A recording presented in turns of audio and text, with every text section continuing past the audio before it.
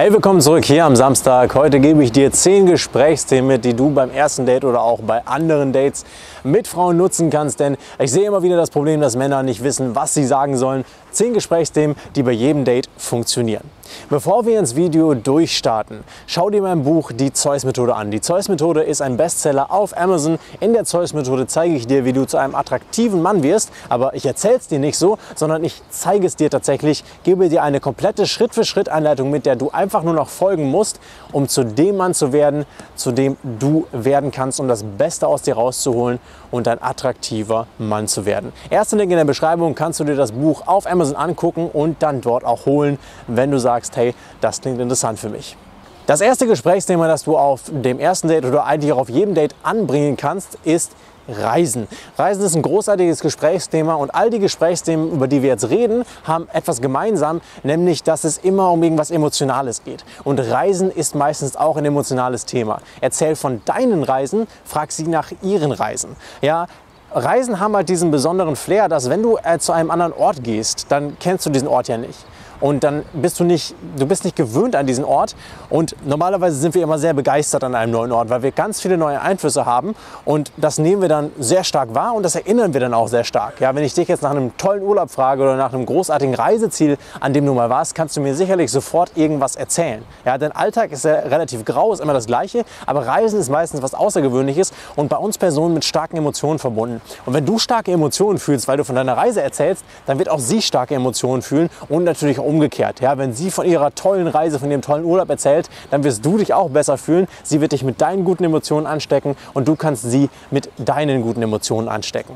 Das zweite Thema, was du immer ansprechen kannst, sind Freunde oder Erlebnisse mit Freunden. Hier auch wieder einfach ein Themengebiet, das sehr viel mit Emotionen beladen ist. Wenn ich mit meinen Freunden aus der Heimat unterwegs bin und wir unterhalten uns zum Beispiel über vergangene Geschichten, also automatisch sind wir dann alle am Lachen, sind alle am Grinsen und jeder fühlt sich halt richtig gut, weil man zusammen alte Geschichten aufarbeitet, wieder in den alten Emotionen schwelgt und äh, durchgeht, was passiert ist, was man alles Verrücktes erlebt hat. Und diese Dinge kannst du wunderbar als Gesprächsthema auf einem Date benutzen, um enorm viele positive Emotionen zu erzeugen und um mit der Frau ganz viele lustige Geschichten auszutauschen. Ja, lass sie von ihren verrückten Erlebnissen erzählen, erzähl du von deinen. Das hat auch nochmal zusätzlich den Vorteil, dass sie einfach merkt, hey, du bist ein Typ, der unternimmt Dinge, der hat auch erstmal Freunde und ist nicht jemand, der allein in der Welt unterwegs ist.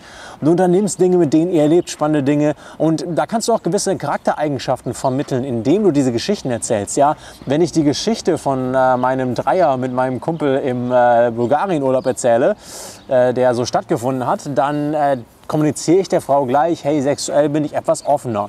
Und das ist cool, denn zum Beispiel kannst du daran erkennen, wie offen auch die Frau vielleicht für etwas schnelleres Sexuelles mit dir wäre. Ja, je nachdem, wie sie auf deine Geschichten reagiert, kannst du halt auch auf sie Rückschlüsse ziehen. Wenn sie zu meiner Dreiergeschichte sagt, i, was ist das denn, sowas würde ich ja niemals machen, kann ich davon ausgehen, dass sie sexuell nicht super offen ist. Wenn sie sagt, das klingt lustig, hab mal sowas ähnliches gemacht, dann kann ich mir denken, dass sie sexuell ein bisschen offener ist.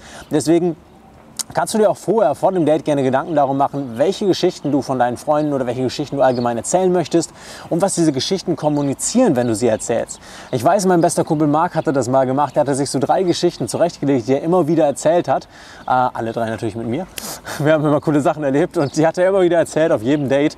Und er hatte sich halt vorher überlegt, was passiert, wenn ich diese Geschichten erzähle und wie kommt das an. Und das kannst du auch machen. Zweites super Gesprächsthema, Freunde und Erlebnisse mit Freunden. Das dritte Gesprächsthema, was ich auch oft bei Dates anwende und was du benutzen kannst, ist das verrückteste Erlebnis, so nenne ich es mal. Also ich frage einfach die Frau, was war so dein verrücktestes Erlebnis überhaupt in deinem Leben? Ja, das ist wieder das gleiche wie bei den anderen beiden Punkten. Es geht hier wieder um etwas sehr Emotionales. Diese Frage würde ich dir empfehlen, nicht direkt am Anfang zu stellen, denn das verrückteste Erlebnis kann auch was sehr Intimes sein. Ähm, das würde ich eher im Laufe des Dates machen, so nach ein, zwei Stunden, wenn du merkst, hey, wir sind schon so ein bisschen miteinander vertraut. Wir kommen später zu noch einem Themengebiet, das du ansprechen kannst, das ein bisschen heikel ist und das du auch eher hinten raus benutzen solltest.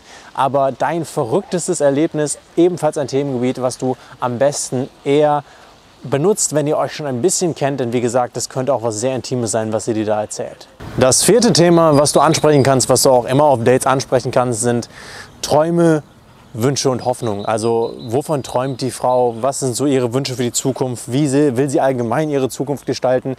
Ähm, auch hier das Thema ist wieder sehr positiv. Wir reden von Dingen, die sie gerne haben möchte. Wir reden von einer positiven Zukunft, von ihren Hoffnungen.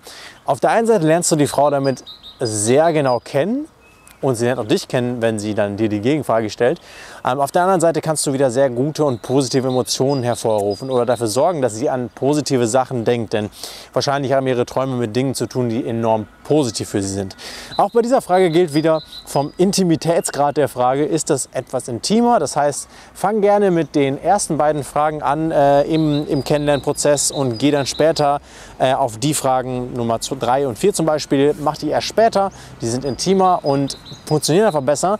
Und wenn mehr Vertrauen da ist, also wenn ich jetzt mit der Frau da sitze und meine erste Frage ist übrigens, was sind eigentlich so deine Träume und Hoffnungen, dann ist das ein bisschen sehr direkt und passt auch nicht wirklich zum Ablauf einer Konversation. Denn Gespräche laufen ja eher so ab, dass man von Smalltalk-Themen, die ein bisschen oberflächlicher sind, Wetter, wow, heute ist ja krasses Wetter, ach übrigens, äh, wo kommst du eigentlich nochmal her? Ja, dass man von Smalltalk-Themen zu tieferen Themen kommt und dann irgendwann auch wirklich zu intimen Themen. Also und das ist ganz, oder das ist ganz entscheidend, weil auf einem Date kommt man ja auch, man wird ja auch körperlich immer intimer. Ja? Erst berührst du sie vielleicht am Oberarm, dann berühren sie vielleicht kurz eure Hände und irgendwann küsst du sie vielleicht. Dann schlaft ihr miteinander und es wird immer intimer. Und so wird es auch vom Gesprächsinhalt, von den Gesprächsthemen immer intimer. Ja, es gibt diese Eskalation im physischen Bereich, von Berührung zu Kuss zu Sex, aber es gibt sie auch im Themenbereich, von oberflächlichen Smalltalk-Themen zu Informationsaustausch-Themen wie wo kommst du her, was ist dein Beruf, zu wirklich intimen Themen, wenn es dann um Dinge wie Träume und Hoffnung geht. Das fünfte Gesprächsthema, das du benutzen kannst, ist das Thema Dating. Und Dating ist ein super interessantes Thema. Ähm, auch wieder eins der intimeren Themen. Wir bewegen uns jetzt eher in intimere Bereiche von, also jedes Thema ist ein bisschen intimer als das davor. Dating ist ein super Thema und zwar einfach mal die Frau fragen, was waren so ihre Dating-Erfahrungen oder wie viel, wo lernt sie ihre Männer kennen, wie waren so ihre letzten Erfahrungen so auf Dates. Ähm, du kannst weiter runtergehen oder weiter tiefer gehen, indem du fragst, wie ihre letzte Beziehung so war und was vielleicht da die Problematik war. Solche Sachen jetzt nicht unbedingt auf dem ersten Date, denn das kann nämlich auch sehr negativ sein. Ja, warum ist die Beziehung auseinandergebrochen ist ein Thema, das du durchaus mal ansprechen solltest. Gerade wenn du jetzt überlegst, mit der Frau zusammenzukommen, kannst du da sehr viel über die Frau erfahren. Ist aber kein Thema fürs erste Date. Aber Dating allgemein. Und das finde ich immer super spannend, weil da kann man wieder sehr stark herausfinden, wohin denn die Frau tendiert. Ja, du kannst dich zum Beispiel fragen, wie sehen denn sonst so deine ersten Dates aus? Oder wie sehen denn sonst so Treffen mit Männern aus? Oder wo lernst du denn sonst so Männer kennen, wenn du nicht von ihnen auf der Straße angesprochen wirst, wie das ja bei mir meist der Fall ist? Und da kannst du sehr viel darüber erfahren, wie die Frau so zu Männern steht, wie die Frau so allgemein ihre Männer kennenlernt und was sie auch so für Dates gewohnt ist. Ja, da merkst du dann wieder, ist sie eine Frau, mit der man vielleicht relativ schnell schlafen kann? Ist sie eine Frau, die eher auf Beziehung aus ist? Passt das für mich? Passt das nicht für mich? Das sind alles Sachen, die du rausfinden kannst, wenn du über das Thema Dating redest. Zusätzlich ist das einfach ein super interessantes Thema, denn Frauen lieben es und das machen Frauen ja auch ständig mit anderen Frauen, über Männer zu reden, über Frauen, über dieses Mann-Frau-Thema allgemein, über Dating. Das ist für Frauen einfach ein super spannendes Thema und da haben haben die meisten Frauen super viel zu erzählen. Frag sie nach ihrem verrücktesten Date, nach ihrer komischsten Date-Erfahrung. Super spannende Thematiken für Frauen. Ich finde das auch immer sehr, sehr spannend und ein großartiges Gesprächsthema, auch gerade fürs erste Date.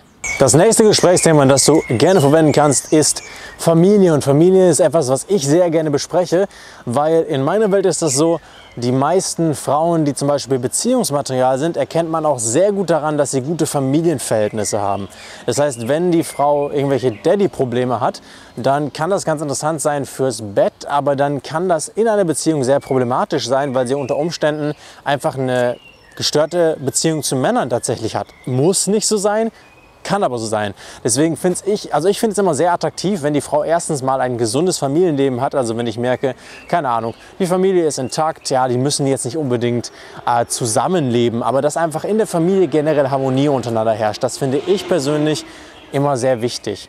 Die andere Sache ist, wenn du von deiner Familie erzählst und einfach erzählst, wie gerne du deine Familie hast, wie du vielleicht was mit deiner Familie unternimmst, wie ihr regelmäßig, sagen wir mal, im Familienurlaub fahrt einmal im Jahr, obwohl du jetzt nicht mehr zu Hause wohnen solltest, ähm, wenn du diese Dinge erzählst, dann ist es auch sehr attraktiv für die Frau. Denn eine Frau mag Männer, die zum Beispiel mit Kindern umgehen können, mag Männer, die Familienmenschen sind, ähm, einfach weil das offensichtlich für später eine wertvolle Eigenschaft ist. Und selbst wenn die Frau nicht auf eine Beziehung aus ist, ist es trotzdem sexuell anziehender für sie, wenn der Mann eher ein Beziehung oder eher ein Familienmensch ist, als wenn er überhaupt kein Familienmensch ist. Das heißt, eine gute ausgeglichene äh, Familiendynamik und Harmonie ist für eine Frau eigentlich immer anziehend, auch wenn es nur um sowas Sexuelles bei dir geht. Deswegen das Thema Familie, ich würde sagen so mittelmäßig intim. Deswegen kannst du es gerne auf dem ersten Date nach vielleicht einer Stunde oder so benutzen, wenn du da gerade nichts mehr weißt. Ähm, die anderen Themen eher später, aber ein super Gesprächsthema auf jeden Fall für deine Dates. Das siebte Gesprächsthema ist Vergangenheit oder Kindheit. Auch wieder eine Sache, die sehr mit positiven Emotionen verbunden ist oder in den meisten Fällen mit positiven Emotionen verbunden ist. Ähm, Vergangenheit oder Kindheit einfach mal, also wenn die Frau und du aus der gleichen Altersgruppe kommen, dann könnt ihr halt ähm, relativ viele Sachen habt ihr wahrscheinlich gemeinsam. Dann könnt ihr euch darüber unterhalten, wie es damals, die Süßigkeiten, die es damals gab oder die Filme, die man damals gesehen hat. Ja, damals haben alle immer Pokémon oder Digimon geguckt, zumindest in meiner Generation. Oder alle haben diese, diese Hubba Bubba Kaugummis gegessen oder diese Center Shocks, diese super sauren äh, Gummis da. So kennst du die doch, Center Shocks? Kameramann? Kennst du, ne? Ja. Kennst, siehst, du, siehst du, mein Kameramann kennt die nämlich auch. Und über solche Sachen kann man sich unterhalten und sowas ist halt immer mit tollen Erinnerungen verbunden, mit meist sehr positiven Erinnerungen, denn für die meisten Leute war die Kindheit etwas sehr Positives. Ja, Superheldenfilme, Superhelden. Äh, Filme und Serien, irgendwelche Serien, SpongeBob oder was auch immer man damals geguckt hat und über solche Dinge zu reden, ist halt super witzig zu gucken, hey, was hat der denn geschaut damals, was hat der denn gemacht, was für Spiele hat man vielleicht gespielt. Ähm, super, coole, äh, super cooles Gesprächsthema, das du auch sehr, sehr früh anwenden kannst im Gespräch und das natürlich noch viel besser funktioniert mit Frauen, die so ungefähr dein Alter sind oder ein paar Jahre drüber oder unter deinem Alter.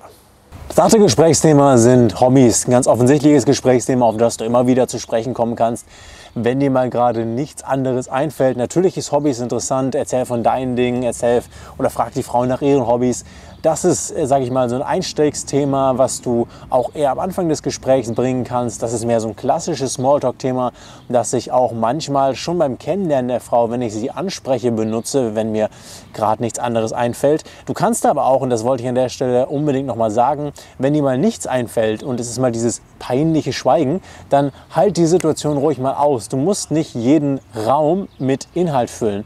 Du kannst auch ruhig mal da sitzen und das Schweigen so ein bisschen genießen, kannst vielleicht auch mal sagen, sagen, hey, ist vielleicht gerade eine komische Situation, wir wissen beide nicht, was wir sagen sollen, ist ein bisschen komisch, aber ist in Ordnung. Und dann früher oder später kommt entweder die Frau wieder auf dich zu oder dir fällt was ein. Also es ist auch so eine Sache oder es ist auch so ein Problem von Männern, dass sie immer den Raum mit Inhalt füllen müssen. Und das kommt oft sehr unsicher rüber. Ja, ich habe das auf dem Coaching gerade erst letzte Woche gesehen bei einem Mann, der immer super viel geredet hat, weil er halt nicht wusste, was er sagen soll, hat er einfach weitergeredet und irgendwas geredet.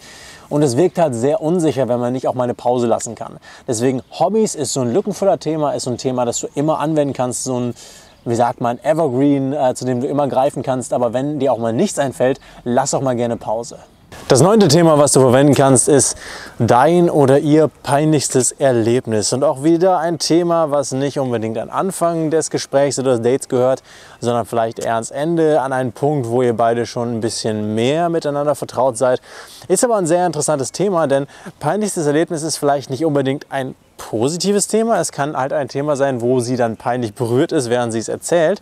Aber was passieren kann, ist, dass ihr beide halt lachen müsst über die blöde Situation, über deine blöde Situation, über ihre blöde Situation. Und dann kann das ein sehr, sehr gutes Thema werden. Und was ich immer gemerkt habe bei peinlichstes Erlebnis, wenn ich das als Gesprächsthema benutzt habe, ist, dass von da aus sich dieses Gespräch in sehr viele Richtungen weiterentwickeln kann. Ja, also man kann leicht von peinlichstes Erlebnis aus äh, auf irgendein anderes Thema rüberhüpfen. Äh, meistens ergibt ergibt sich relativ viel Gesprächsstoff aus dem peinlichsten Erlebnis, entweder von dir oder von ihr. Und das zehnte Thema, und natürlich musste das Thema jetzt an dieser Stelle kommen, ist natürlich Sex. Und Sex ist so eine Sache, Sex ist ein heikles Thema, denn äh, man muss auf jeden Fall wissen, wie man das benutzt und man muss auf jeden Fall schauen, wann man das benutzt. Du solltest es nicht ganz am Anfang benutzen, la, sag mal, was sind denn deine sexuellen Vorlieben, denn das wäre sehr seltsam. Aber du kannst es gerne im Verlaufe des meinetwegen auch schon ersten Dates benutzen, wenn du das Gefühl hast, ihr seid schon auf dieser intimen Ebene. Und ich erkläre es nochmal, auch wie Körperkontakt sich steigert, steigert sich auch die Gesprächsthemenwahl. Ja, von oberflächlicheren Themen, Smalltalk-Themen zu intensiveren Themen und dann natürlich auch zu ähm, sexuellen Themen. Aber wie gesagt, damit ein bisschen vorsichtig sein. Wenn du jetzt äh, mit noch nicht so viele Dates hattest mit Frauen, dann lass dieses Thema lieber erstmal weg. Benutze es eher auf späteren Dates, benutze es vielleicht sogar dann, nachdem ihr miteinander geschlafen habt, indem du so ein bisschen rausfindest, hey, was gefällt dir im Bett, was gefällt dir vielleicht noch und so weiter. Wie waren bisher so deine sexuellen Erfahrungen? Äh, wenn du ein bisschen erfahrener bist und weißt, wie du sowas in den richtigen Rahmen setzen kannst, wie du damit umgehst, wenn die Frau ein bisschen verwirrt ist mit diesem Thema, kannst du es auch natürlich früher benutzen. Und da kannst du auch wieder mit herausfinden, wie die Frau generell Sex gegenüber eingestellt ist. Das heißt, wenn ihr über Sex redet und du merkst, sie erzählt sehr offene sexuelle Geschichten, sie erzählt mir da sehr schnell sehr viel drüber, weißt du, okay, ist eine sexuell offenere Frau, mit der es auch schneller zum Sex kommen kann. Wenn sie das nicht macht, weißt du, okay, vielleicht nicht die offenste Frau, mit der könnte es sexuell etwas länger dauern. Neben mir kannst du den Channel abonnieren. Hier unten kannst du dir das gratis E-Book in fünf einfachen Schritten bis zu zehn Dates die Woche runterladen und unten rechts in der Ecke habe ich ein Video für dich vorbereitet, das dir weiterhelfen wird, wenn dir dieses Video gefallen hat. Schön, dass du dabei warst hier am Samstag. Du siehst mich und ich sehe dich am Donnerstag wieder. Bis dahin, ciao.